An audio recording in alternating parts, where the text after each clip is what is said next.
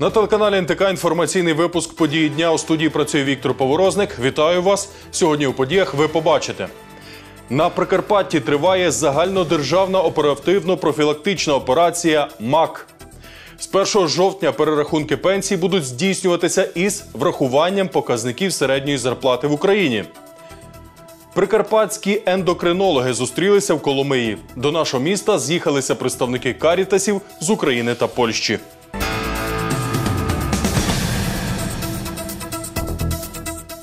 На Прикарпатті триває загальнодержавна оперативно-профілактична операція МАК. Поліція виявляє осіб, які всупереч чинному законодавству вирощують заборонені рослини. Такі дії караються штрафом від 100 до 500 неоподаткованих мінімумів доходів громадян або арештом до 6 місяців, або обмеженням волі на термін до 3 років. На Прикарпатті у рамках загальнодержавної оперативно-профілактичної операції МАК поліція виявила близько двох десятків посівів маку. Наркомісні рослини знайшли у Коломийському, Снятинському і Тлумацькому районах. Одне з найбільших виявили на Косівщині. Там росли понад пів тисячі рослин снодійного маку. У всіх випадках люди переконують, посадили не з метою збуту, а задля кулінарії пироги та булочки пекти. Але в поліції кажуть, якби кількість рослин не перевищувала норму, то власники такої плантації значної відповідальності не несли б. Загальна кількість вилучених рослин становить 4500 рослин. Адміністративна відповідальність е, наступає е, тоді, коли е, кількість рослин становить до 100 рослин це рослин маку, і до 10 рослин це рослини коноплі. Якщо кількість рослин становить більше 100 рослин маку, наступає кримінальна відповідальність. Якщо більше рослин, більше 10 рослин коноплі, наступає також кримінальна відповідальність. Загальнодержавна оперативно-профілактична операція МАК триватиме до 28 вересня. Тим, хто вирощує ці рослини, загрожує штраф від 100 до 500 неоподатковуваних мінімумів доходів громадян, арешт до 6 місяців або ж обмеження волі до 3 років. Осучаснення пенсії з 1 жовтня цього року перерахунки пенсій будуть здійснюватися із врахуванням показника середньої зарплати в Україні. Цього ж року скасують відрахування у 15% з працюючих пенсіонерів. А вже січня 2018 року право на призначення пенсії за віком будуть мати ті громадяни, у яких стаж 25 років. Згодом в Україні скасують і спецпенсії, тобто буде єдиний підхід до нарахування пенсій незалежно від статусу людини. Більше про пенсійну реформу розкаже Галина Григорчук, начальник Коломийського об'єднаного управління пенсійного фонду. У Верховній Раді зареєстрований законопроект, яким внесено зміни в низку законів України, відповідно до яких призначаються пенсії. Зокрема, з 1 жовтня буде осучаснення перерахунку пенсій із застосуванням показника середньої заробітної плати в Україні. Мова про 3764 гривні, розповіла начальник Коломийського об'єднаного управління пенсійного фонду Галина Григорчук. Нам відомо і часто ми чуємо претензії наших одержувачів пенсії. Ті, хто пішли раніше 11, 12, особливо 9, 10, 11 роки. І мають більше 40 років стажу і орієнтуються на цих пенсіонерів, які зараз виходять на пенсію при такому стажі, і в межах десь приблизно така ж заробітна плата, і розмір пенсії суттєво відрізняється, оскільки тоді був показник середній по Україні 1197 гривень, тобто майже втричі зараз по суті більша середня заробітна плата по Україні. Тому урядом прийнято рішення з 1 жовтня провести перерахунки, так зване усучаснення пенсій. Окрім того, з 1 жовтня зросте мінімальний розмір пенсії, становитиме 1373 гривні. Власне, від цієї цифри будуть формуватися всі підвищення і надбавки. А от надбавку за донорство вираховуватимуть від 1700 гривень. Важливим є підвищення страхового стажу, необхідного для призначення пенсій за віком. І законопроектом передбачено з січня 2018 року. У нас право на призначення пенсії за віком 60 років матимуть ті громадяни, у яких стаж становитиме 25 років. З подальшим збільшенням щорічним на рік, тобто у 2028 році, він вже становитиме 35 років. Передбачено також законопроектом і призначення пенсії за віком у 63 роки. Ця категорія, хто буде відноситися до цієї категорії громадян, до цієї категорії громадян відносимуться ті, кого стаж становитиме від 15 січня 18 до 25 років, теж з поступовим кожним роком збільшення на один рік. І вже у 2028 році межа буде становити від 25 до 35 років. Щодо людей, які матимуть лише 15 років стажу, то вони зможуть отримати пенсії лише у 65 років. Якщо не буде й цих 15 років, то після досягнення 65-річного віку їм призначатимуть соціальну допомогу з урахуванням сукупного доходу членів сім'ї. А ще врешті скасують спецпенсії. А от працюючі пенсіонери отримуватимуть пенсії в повному обсязі. До цього часу призначали пенсії раніше і державним службовцям, науковцям, депутатам, прокурорам, особам місцевого самоврядування.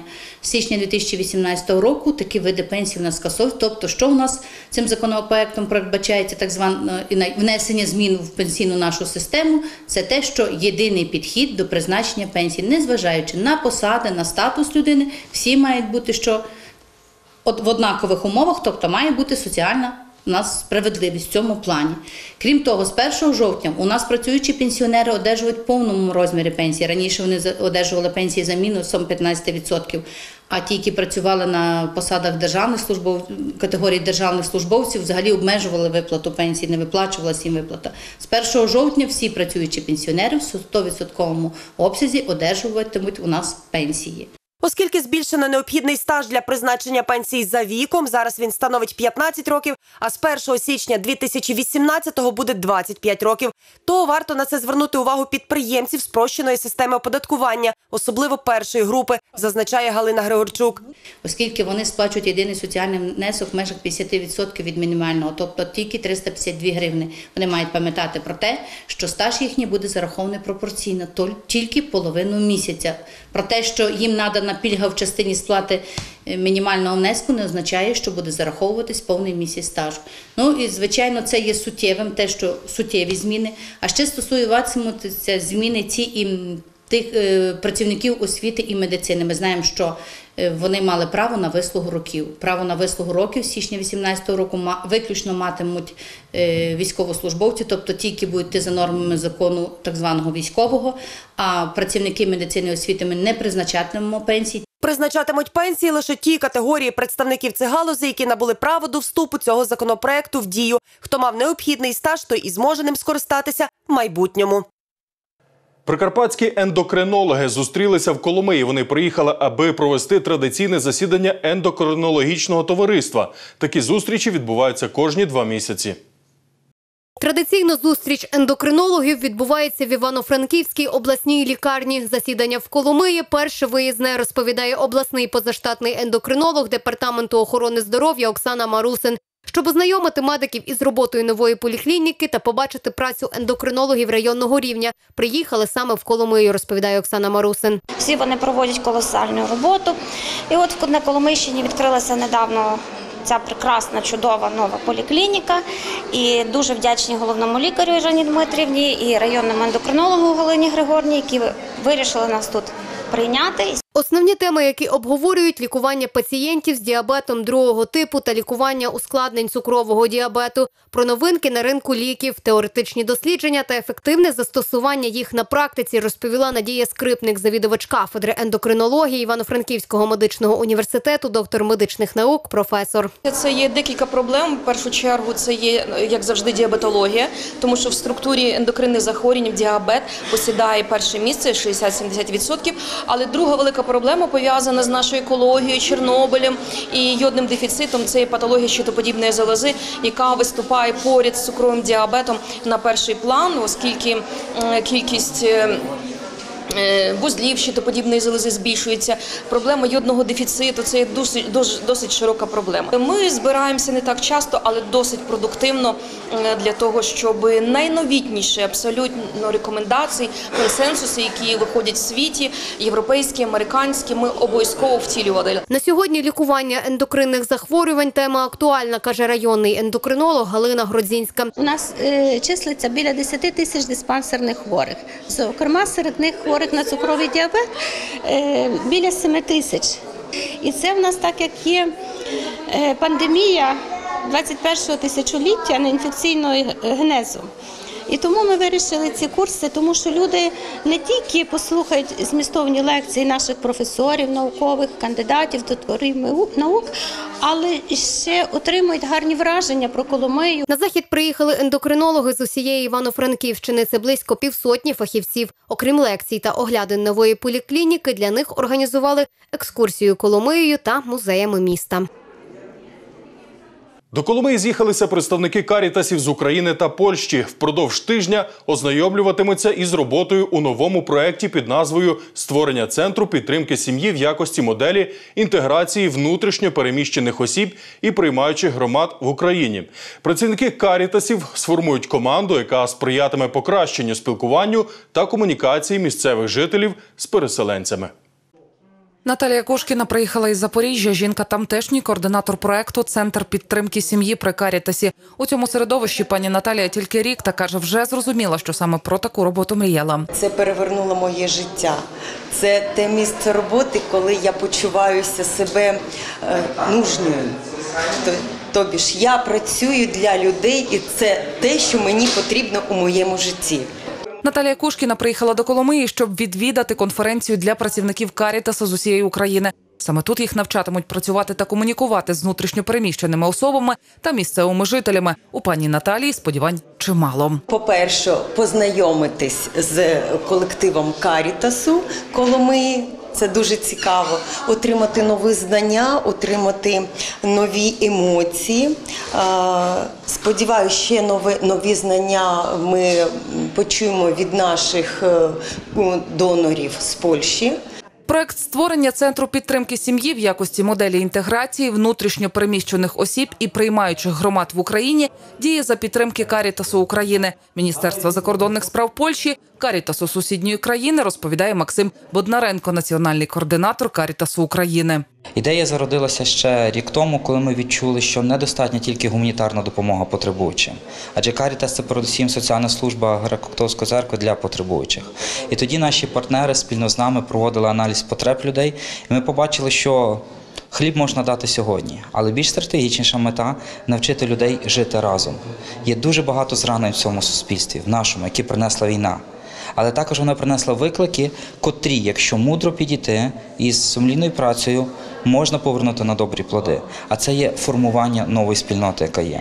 Організатори конференції запросили до нашого міста 50 представників Карітасу з України та Польщі для спільного навчання. Разом з'ясовуватимуть, чим для нас є внутрішньопереміщені особи викликом, загрозою чи шансом. Ми відійшли від питань політики бізнесу. Ми почали будувати через сім'ю. Чому? Тому що це певний перший рівень будови стосунків. Якщо зможуть вирішувати конфлікти, знаходити примирення, приймати один одного в сім'ї між поколінням, якщо сім'я розірвана між сходом і заходом, то тоді зможуть і в тій громаді, де живуть. Ми в це віримо. Наші методисти розпрацювали певні програми і маємо на це майже три роки, щоб впровадити, щоб посіяти ті зернятки, вони дали плоди. Даний проект є тримодульний і триватиме два роки і вісім місяців. Конференція Шуколомиї розрахована на п'ять днів і має декілька вимірів. Вишкіл, коли ми будемо говорити про вимоги проекту, вони є і кількісні, і якісні. Як найкраще виміряти надану людям допомогу, як це можна побачити пізніше плодами. На це буде окремий час, і також буде час на гуртування. Це не просто слово тімбілинг. У нас команди з семи карітасів тут присутні зі сходу і заходу. У нас є люди, хто втратили близьких внаслідок війни чи в АТО, чи переселенці. Як їм бути між собою, як їм творити першу спільноту і розуміти, що Карітас є родиною. Організатори кажуть, упродовж трьох років у проєкті мають взяти участь до 20 тисяч бенефіціарів. Якраз коли ми стартуємо е, оцю нашу діяльність. Та це його гості з Запоріжжя, Харкова, Кривого Рогу. Так само наші гості, наші партнери з Польщі, з Міністерства закордонних справ Польщі. Наша конференція є дуже важливою тому що тут розглядаються питання осіб, котрі є постраждали від тої катастрофи, що в Україні, яка називається війна. І наше завдання як Карітасу поговорити з усіма людьми, представниками Каріту з України, як ми маємо допомогти людям. Ну а далі всі учасники конференції у Коломиї поїдуть до себе додому, де ділитимуться із колегами знаннями та реалізовуватимуть те, чого навчилися. Коломийські шахісти вже традиційно вшанували пам'ять кандидата у майстри Євгена Булика. З цього приводу організували турнір. У швидких шахах змагалися 20 учасників. Євген Булик доклав чимало зусиль для розвитку шахів у нашому місті. Він очолював шахову федерацію Коломиї з 1965 до 2002 років. Був старшим тренером дитячо-юнацької спортивної школи номер 2 багаторазовий чемпіон Коломиї та області, переможець багатьох міських, обласних і всеукраїнських змагань, кандидат у майстри шахів. Фанатично любив шахову гру і для її вивчення доклав чимало зусиль і часу. Професійний суддя, організатор багатьох шахово-шашкових змагань. Виховав багато талановитої молоді, наприклад, Романа Слободяна, чемпіона України і світу з шахів, Антона Мазурика, багаторазового чемпіона Коломиї та області. Перед початком пам'ятного турніру виступили шахісти, ветерани Василь Слободян, Микола Литвинюк, Володимир Христофулов. Вони розказали цікаві шахові події за участі Євгена Булика. Завітав клуб і його син Роман, доктор медичних наук, професор, який проживає у Чернівцях. Висловив свою подяку організаторам і шахістам цього змагання. У турнірі взяли участь всі охочі, загальна кількість учасників 20, були і вболівальники. Гра проходила за швейцарською системою у 8 турів. У підсумку перше місце виборов першорозрядник Юрій Кузик з відмінним результатом 7,5 балів із 8 можливих. Друге місце у студента юридичного університету з Одеси, кандидата у майстри спорту Олега Боєчка 7 балів. І третє заступник голови міста Володимир Бойцан 6 балів. Серед юнаків кращий результат показав призер чемпіонату України серед школярів. Першорозрядник Роман Стефурак. У нього 5,5 балів. Серед ветеранів за додатковими показниками у Степана Біланюка 5 балів. Варто відзначити і наймолодшу учасницю цього турніру Єлизавету Яковлєву, яка вперше виступала в таких змаганнях. Вона не розгубилася і показала добру гру. Відчула радість перемог і здобула певний досвід. Призерів і кращих нагородили грамотами. Суддя і організатор змагань Василь Слободян. Центр допомоги учасникам АТО пропонує сімейний відпочинок для учасників АТО з дружинами на літо 17-го року у державній резиденції Синьогора в селі Гута, Богородчанський район. Довідки за телефонами 034 33 477 29 Коломия та 098 963 0790 Коломийський район. Графік заїздів Коломия. Перший 5 липня, 6 та 7 числа, другий 7-9 липня, третій 14 серпня, 16 серпня. Коломийський район. Перший заїзд 17 липня по 19, другий заїзд з 19 липня по 21 липня і третій заїзд з 4 серпня по 6 серпня. І на цьому у нас все. Значно більше інформації шукайте на сайті ntkTV.ua. Дякуємо вам за увагу. До зустрічі і хай щастить!